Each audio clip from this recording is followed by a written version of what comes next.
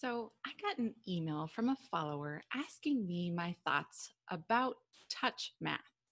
I'm Christina Tondevold, the recovering traditionalist, and I hope you'll stick around for the next few minutes while I go off on a little rant about why I hate touch math as I hope to build your math mind as we are on our quest to build the math minds of our students. Now, let me take a moment to talk about some background about how children learn mathematics, and then I'll connect it back to touch math.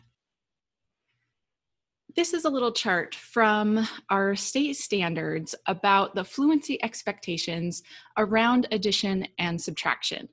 Now, it starts in kindergarten, works all the way up through fourth grade, but as you notice, in every grade level has a fluency expectation.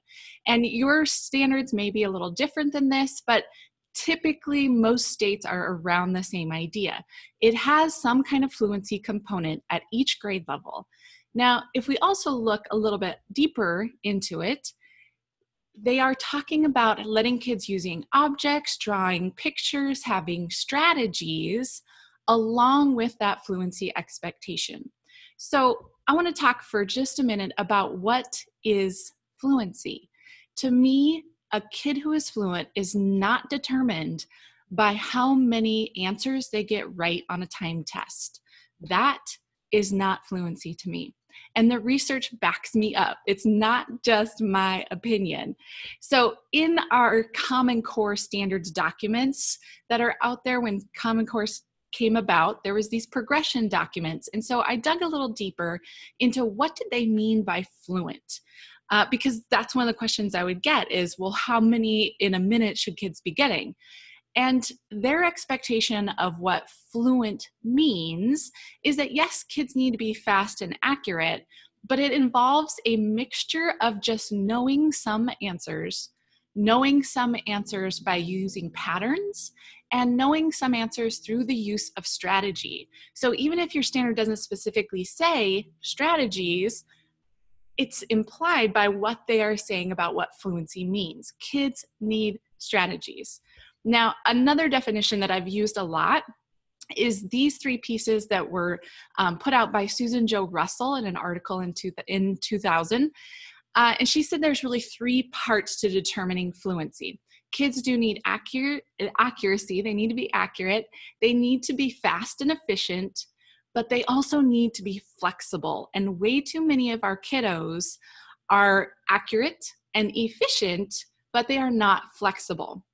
Okay, and so I'm going to use this definition and come back to it again after we talk about what uh, touch math is and talk about if we feel like it helps kids build all three of these pieces or not.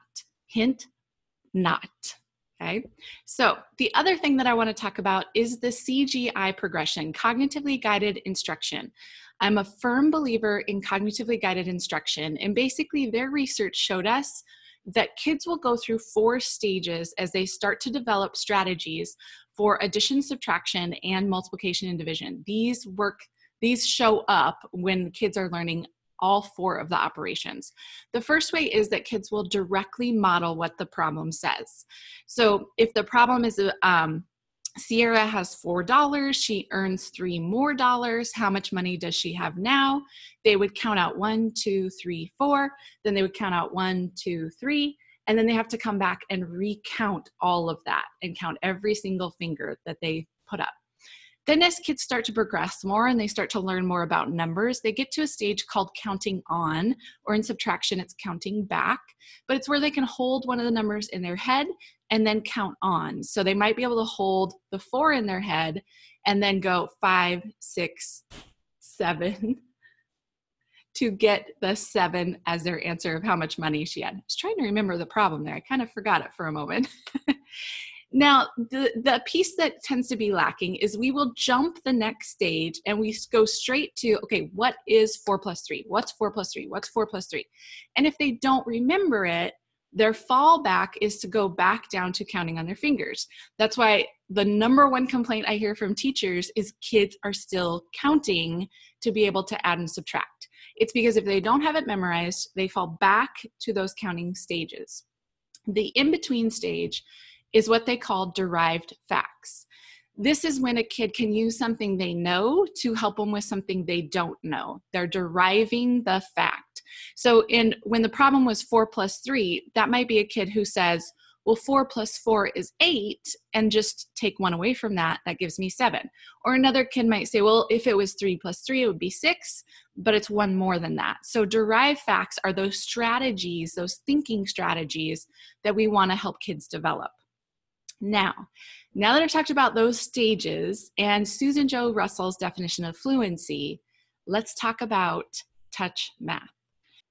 So, with touch math, they put a, a touch point at certain spots on the numbers. So, on five, you see five touch points. On two, there's two touch points. So then when they go to add, they can touch each one of those touch points and count to be able to determine the total because there's five touch points, then two touch points, and then they can come back and count each one of those right and that's what kids will do is they'll touch each one of those to figure out that the answer is seven uh, as they get into up to larger amounts past five, they have these kinds of circles which are double tap. So if it's got kind of the circle within a circle, that means you tap it twice um, in order to tap seven times. So I will give them credit. It does encourage kids to count each set. So in their beginning edition, they're counting the eight things, they're counting, and then they're counting the five added on to that to get their 13. And then they encourage kids to stop touching the first number and then working just on touching the second number. So it's in that counting on stage. So if we come back to this progression, touch math keeps kids in that counting on and direct modeling phase. So, to me, the reason I really dislike touch math is that it doesn't allow our students to work up into those higher level strategies. And according to Susan Jo Russell's definition of fluency, the only one that it hits is accuracy. Kids will get the correct answer but they're not efficient. It, they're still sitting there counting these dots and they are not flexible. The only way they can solve the problem is by using those touch points. And I have seen adults who still use the touch points. And even Touch Math puts it on their website. This is a direct statement that I did a screenshot of on their website. And I'm going to zoom into that first line. It is based on counting. They say touch math works because it is based on counting. And you're right, they are counting and they're adding and subtracting just by counting. To me, that is not learning addition and subtraction. That is counting. Counting is the foundation that builds our understanding of addition and subtraction, but it's not where we want kids to stay. So, for the majority of our kids, touch math should not be the place that we start.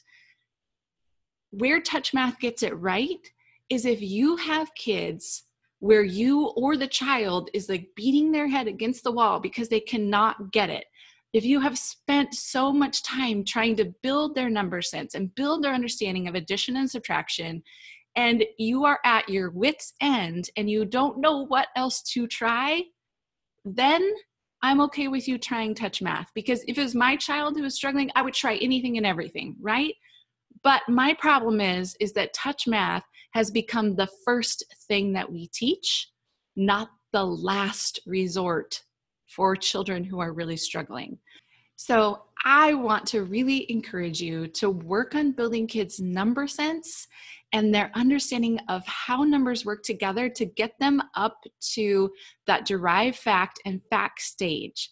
If you can get a kid to a derived fact stage, they will become more accurate, more efficient, and they have flexibility. So I hope that this has helped you build your math mind and had you kind of evaluate a system that's been in use for a while that may not be the best thing for the majority of our students.